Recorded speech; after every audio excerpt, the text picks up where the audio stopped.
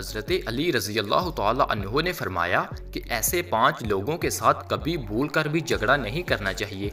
नाजरीन, आज की ये वीडियो बहुत दिलचस्प होने वाली है, इसलिए वीडियो को आखिर तक ज़रूर देखें। नाजरीन, हज़रत अली रज़ी अल्लाह तहों ने फरमाया कि ऐसे पाँच लोगों के साथ कभी भूल कर भी झगड़ा नहीं करना। अगर आप झगड़ा करोगे तो बर्बाद हो जाओगे।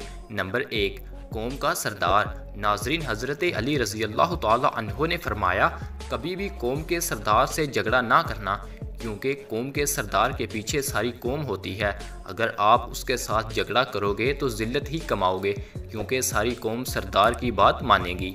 नंबर दो, किसी भी आलिम के साथ झगड़ा नहीं करना चाहिए, क्योंकि आलिम को अल्लाह ताला ने इल्म की सूझबूझ अता फरमाई है।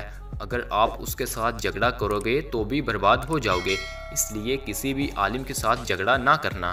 नंबर तीन, नाजरीन, बच्चों के साथ भी कभी झगड़ा नहीं करना चाहिए, क्योंकि वो तो बच्चे हैं और आप समझदार हो। इसलिए समझदारी से काम ले और बच्चों से मोहब्बत करो। नंबर चार, औरत के साथ भी कभी झगड़ा नहीं करना चाहिए। वो औरत अपनी हो या गैर की, औरत औरत ही होती है। और अगर आप औरत के साथ झगड़ा करोगे तो आप बर्बादी की तरफ़ चले जाओगे। नंबर पाँच, बद ज़ुबान से। दोस्तों, हज़रत अली रज़ी अल्लाह तहों ने फरमाया, जो बुरा बोलता है और बात बात में गाली देता है तो ऐसे बद ज़बान से कभी झगड़ा ना करना।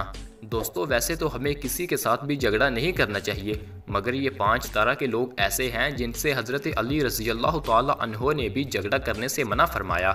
दोस्तों, वीडियो पसंद आए तो वीडियो को लाइक और चैनल को सब्सक्राइब ज़रूर कर दें। दोस्तों, अच्छी बात को शेयर करना भी सदका जारी है।